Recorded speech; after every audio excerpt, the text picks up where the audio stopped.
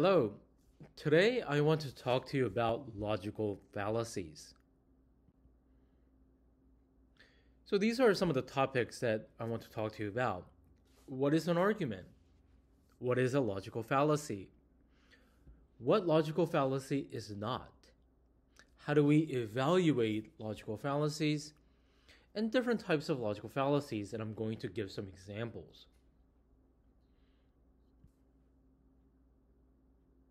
What is an argument? An argument gives reasons for thinking that something is or is not true. An argument, as you know from modules 1 through 8, an argument always comprises of two parts premises and a conclusion. So, what is a logical fallacy? A logical fallacy is a mistake in reasoning.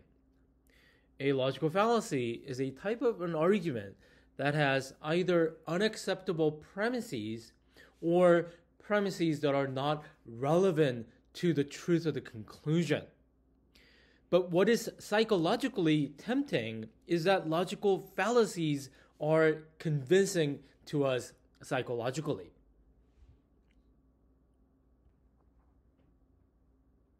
Now that we know what a logical fallacy is, it's important to know what logical fallacy is not.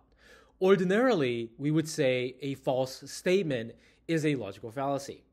Or we would say a logical fallacy is, you know, outrageous or incorrect ideas. And that's ordinarily true. But in this context, in critical thinking, in philosophy, that's not logical fallacy. Again, a logical fallacy is a mistake in reasoning. You know, this last point raises the question about how to evaluate logical fallacies. Three steps. And I want you to follow these three steps every single time uh, on your practice exercises, on your homework assignment, um, or um, just when you are analyzing it on your own. First, identify the premises and a conclusion right? It's an argument, right? A bad argument, but it's an argument. So you have to identify the premises and the conclusion. Second, you got to name the fallacy, and you want to define it. A quote from the textbook. Um, and then the reason that this is important is because if you name it, you define it, then it will um, help you to memorize it or to understand it better. Number three, explain why the fallacy occurs. So let's practice. The first logical fallacy we want to study is ad hominem. In Latin, it means, um, ad hominem is a Latin term. Uh, it means to the man or to the person. So when you make an ad hominem argument or lawyer fallacy, you're rejecting a claim by criticizing the person who makes the claim rather than criticizing or evaluating the claim itself. Let me give you an example of this. Let me give you an example. We should reject Yoda's argument for life on other planets. Well, why is that? Because he dabbles in the paranormal. Now, Yoda, as you know, is a beloved character from Star Wars. And let's break down that argument. Now, let's break down the argument. Step one the conclusion of the argument is that we should reject Yoda's argument for life on other planets. And then the reason for that, premise one, Yoda dabbles in the paranormal. Now, uh, when you hear or read this argument, you will notice that something is off. And then the reason for that is that it commits the appeal to the person fallacy. You're rejecting a claim by criticizing the person who makes it rather than the claim itself. And if I ask you why is it, then you will say something like this. Yoda's dabbling in the paranormal has really nothing to do with whether we should reject Yoda's argument for life on other planets. The other fallacy that I want to study is genetic fallacy. Here's the definition arguing that a claim is true or false solely because of its origin. Now, the word genetic there refers to the origin of where that claim is coming from. Uh, we're not talking about genetics in terms of DNA or anything like that. It's not a biological concept. So here's an argument. We should reject that proposal for solving the climate change mess. Why? Because it comes from big corporations. This is an example of genetic fallacy. Now, I want you to pause the video and then go through each step. Step one, identify the premises and a conclusion. Uh, name it, genetic fallacy. Define it by looking at the definition from the book and evaluate. Tell me why you believe that this argument commits genetic uh, fallacy. Now, the next two are uh, fallacies of composition and division. Now, they are sort of two sides of the same coin. Now, composition says arguing that what is true of the parts must be true of the whole. And then division is arguing that what is true of the whole must be true of the parts. So let me give you an example of composition first. So suppose I say that the parts that make up a car are not heavy or not as heavy as the entire thing. And therefore, the car is not heavy. Now, if you reason this way, and you you know you want to first identify the premises and the conclusion and then the therefore is obviously the conclusion indicator right? But then, but then you'll notice that it commits the fallacy of composition because just because right parts are not heavy it doesn't follow that the car is not heavy. The car is incredibly heavy.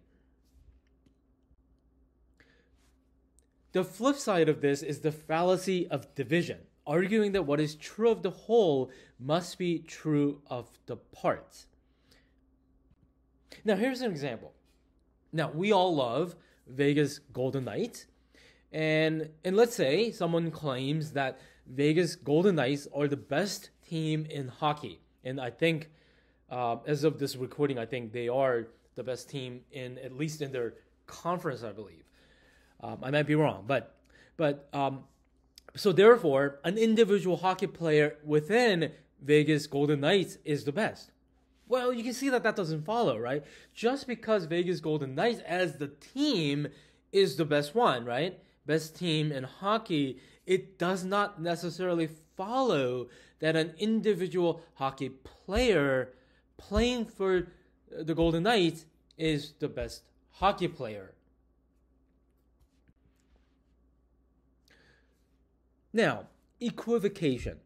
Equivocation is using a word in two different senses in an argument, right? You're using a word in two different senses in an argument. Now, here's an example of equivocation. I want you to read the passage and then go through the three steps.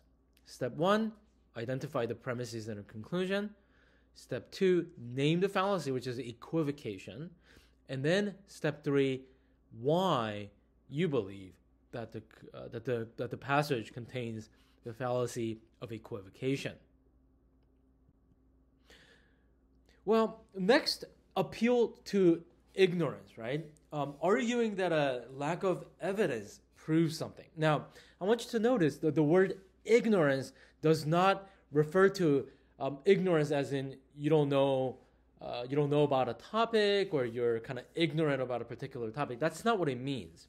What it means is that you're thinking that a lack of evidence of something proves something. That's what it, that's what we mean by the word ignorance in that context. So let me give you an example of this. No one has shown that ghosts are not real so they must be real. Okay, so the conclusion of that argument, they must be real. And then the other sentence is um, is the the other part of that sentence is is the premise. Now, this commits the fallacy of appealing to ignorance because just because no one has shown that ghosts are not real, you cannot conclude that they are real. And then and then I want you to read the second passage and then kind of think about why that particular example also commits the fallacy of of appealing to ignorance. Now, as you study the chapter, um, you will notice that there's a, there are several fallacies that says appeal to, right? Appeal to popularity, appeal to tradition, appeal to emotion, appeal to ignorance. So here's a kind of one of those appealing to kind of a logical fallacy. So appeal to emotion says using emotions as premises in an argument. Now, I want you to notice what it does not say. It does not say that you cannot, your argument cannot invoke or evoke an emotional response. Because an argument, um, you know, regardless of the logic or the reasoning of it, could evoke or invoke a particular emotion, whether positive or negative. And there's nothing wrong with that. However, when you're making an argument and emotion is the only thing or only reasons for thinking that the conclusion follows, now you have committed the fallacy of appealing to emotion. So here's an example of it. I want you to read this passage and go through the three steps. Step one, identify the premises and conclusion. Step two, uh, name it, appeal to emotion, define it. And then number three, tell me why you believe that the passage commits the fallacy of appealing to emotion.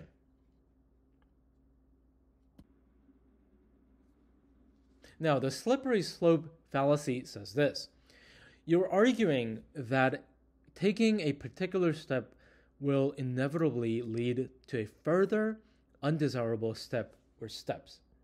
Now, imagine yourself uh, kind of standing on a slope, and then just snowed, and then there's ice on it. It's very slippery. Uh, kind of, it's a slippery slope. So that's the kind of the metaphor. Now, um, not all slopes are slippery in an illegitimate way.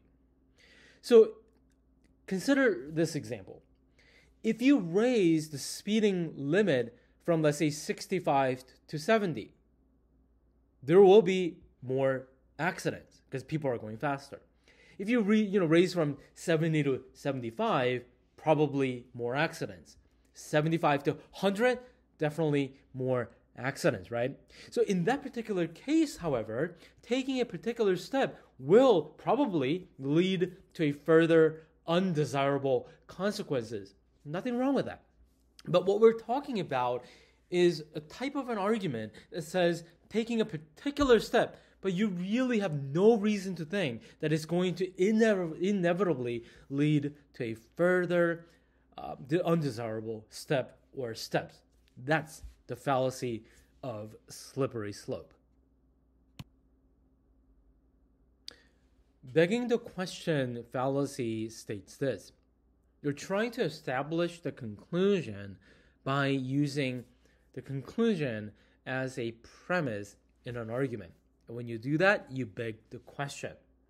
Um, another word for this is circular argument when you are trying to argue for a conclusion, but instead of providing independent evidence or premises to back up that conclusion, you basically restate uh, the conclusion um, uh, by using uh, the conclusion as a premise. And when you do that, you have committed the fallacy of begging the question.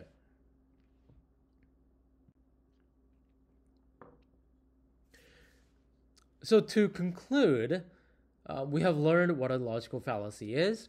It's a mistaken reasoning. We've learned the three steps to evaluating logical fallacies. And I've given you some examples. Now, please do note that um, although I have only discussed a few, uh, the textbook discusses many more. And in fact, there are over 200 logical fallacies that have been discovered by philosophers and logicians um, in the past 2,500 years. But just because you learn logical fallacies, there is a tendency to look for logical fallacies when they do not exist. So here's an example of it. I want you to read that example. The correct answer is C. No, there's no fallacy. So that is a legitimate option. But I want you to see, kind of think about why there is no fallacy in that particular example. So I want to end with on a on a on a kind of funny note. Um, so here's a um, a poster that I found uh, online, and and it basically says, "Thou shalt not commit logical fallacies." You know, it gives some some some logical fallacies. Some of them are in the textbook, some of them are not. And then on top it says Plato, Socrates, and Aristotle, the three uh, big philosophers from ancient Greek philosophy.